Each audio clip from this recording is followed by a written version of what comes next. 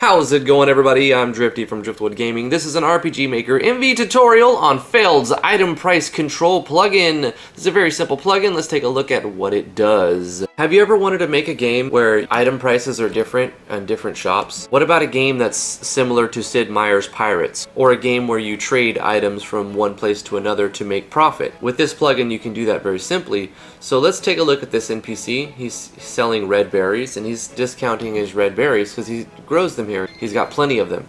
So, right here we can buy red berries for 40 and he also sells dry grain for 100 which would be a standard price. And we can take a look at this NPC and he sells grain for a discount since he has a ton of it, he's growing it himself, but he doesn't have very many berries so he's selling the berries at the regular price. Now what you could do with these two NPCs is buy a bunch of grain from one guy and sell it to the next guy. Now this guy, he wants to buy the grain at a slightly higher price than what you paid for it. So you can buy berries for a discounted price, take those to a different shop who buys them for a slightly higher price than you paid, buying low and selling high. Based on supply and demand and who's got what, you find the right NPCs to buy from the ones who have a surplus, sell to the ones who have a deficit.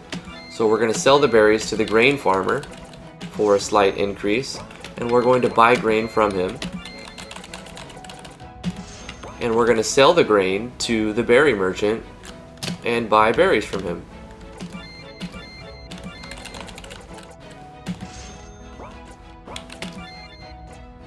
And we've effectively almost doubled our starting money of a thousand gold just by buying and selling. Now obviously in your game you're going to probably space these out quite a bit more from one town to the next town, have several different items.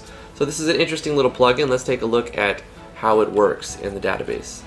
So taking a look at the plugin, we have some basic parameters. You can go ahead and left click and drag this little top part right here and that'll let you see everything that is described in here. So the first parameter, item sale price dependent on the shop price. Now this has two values. You can set it to the database. You can type in database here or you can put in shop value. Now the only two only difference between here is if you set it to database, it's going to use the value that you put inside the price right here. And if you put it to shop, it's going to use the value that you put in right here. But you can still set it to shop and use the database value if you set your merchandise to price to standard. So in general, I like to leave my plugin first setting to shop because that lets me use the database value or custom value if I wanted to input that on the shop itself. So, moving on to the next thing. Item sell price multiplier. This is a default value. You sell things for half the price that you would normally buy them. If you would like to change this so that you sell things for like 75% of the price of what they're worth or 10% of what they're worth, you can simply multiply this by going 0.1 for 10%, 0.75 for 75%, etc. On the next parameter, sell price multiplier affects explicitly set prices. I set this to false, it's on false by default.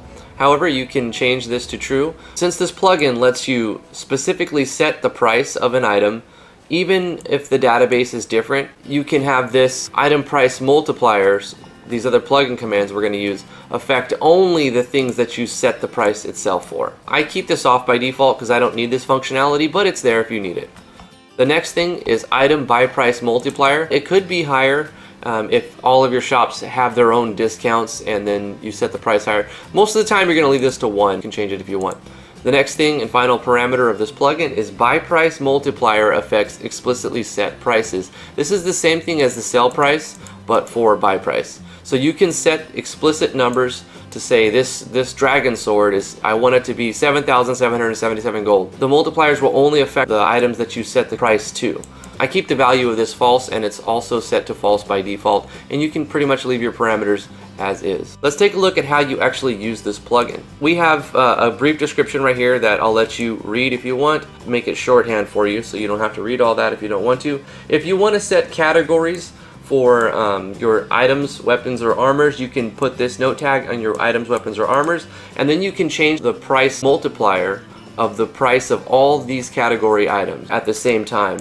But keep in mind when you change the price of a category from one shop and you go to the next shop, you'll have to also set the other categories back. Let's take a case in point here. This is the berry bush guy and he sells berries for 60% off times 0.4. If he's selling in the database all the prices are set to 100. We have 100 for the grain and 100 for the berries. This guy, he sells berries at a discount. We're gonna set a plugin command. You go right click, you go to new, tab 3, click down to plugin command. In the plugin command box, you type in the plugin commands that you see in the help file itself. Category buying multiplier, and then you type in the name of the category and then you type in the float value of the multiplier you want it to be. So if I want berries to be sold at 40% of their value, then I'll put in 0.4. You separate these by a space. You can see in the description note box of the item that I've specified red berries to be in the category for berry. So anytime I reference berry, it'll know any item that has this category note box. Now the reason why I have category buying multiplier grain 1.0 is because if I were to go over to this other guy and look at his, we're going to change, adding a plugin command, we're going to change the value of grain to 40% of its value. So if I talk to this guy and then go back to the other NPC, both of them will be set to 40% of their value. So at the beginning, I set the category buying multiplier of berries to 1 back to normal, and they would be set as a discount if you talk to this other guy first. So you just kind of have to like set all of your values to 1 for all your categories and then make sure that if you're using this category buying multiplier, or category selling multiplier, you want to set all of them when you change them from vendor to vendor. Let's take a look at some of the other things you can do with the plugin. You can use plugin command set sell price dependency, which is basically this plugin lets you change these parameter values with the plugin command at any time. So if you want to switch between a shop or database value, you can change this in-game with plugin commands. That's pretty cool. All five of these are toggleable with plugin commands in here. This is another one you're probably going to be using more often. The next thing we're going to be looking at is buying multiplier and selling multiplier these are going to be the ones you're going to use the most probably. Say like in Final Fantasy X, give that guy money early in the game and then he gives you discounts later on in the game. You might want to apply this to all of his shops. This is a very simple plugin command. Let's go ahead and copy paste this from here. You do the same thing. You would right click insert new plugin command and you put in your buying multiplier and a float value. We helped him out with something so he's going to give us 30% off his wares, 0.7. This is going to multiply the value of the item times 0.7, which is effectively making it 30% cheaper. He's to sell the same items at a different price. When we apply a buying multiplier on an NPC, we have to also apply the same thing to other NPCs. Once you put the plugin command here, it's going to affect all of the NPCs. Copy this, and we're to put this same thing over here, but we're to set it back to its original default value of 1. So on our other NPCs, we're to make sure that they have a base value of 1. Otherwise, it will be 0.7 and then multiplied by 0.4 which will change your numbers quite a bit and all of the NPCs will give you that discount that this guy gives you. You could make that if you want it to be that way. Most likely you don't want it to be that way. That's how you set it up. Buying multiplier, give the discount on that NPC. You set buying multiplier plugin for all your other NPCs back to its default value of 1. Thanks for the help back there. All my items are sold at a discount and now he sells berries and grain for 70 coins instead of 100 coins. Let's go see if it affects this price. Since we set the buying multiplier back to 1, these prices are unaffected.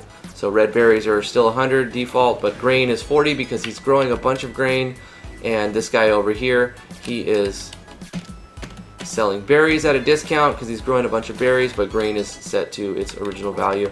So that's pretty much it. That's the plugin in a nutshell. We can go over the last plugin commands. Um, like I said, they all are there to um, let you have the ability to control any of these values in-game. And you can set explicit uh, sell prices on items by setting set buy price.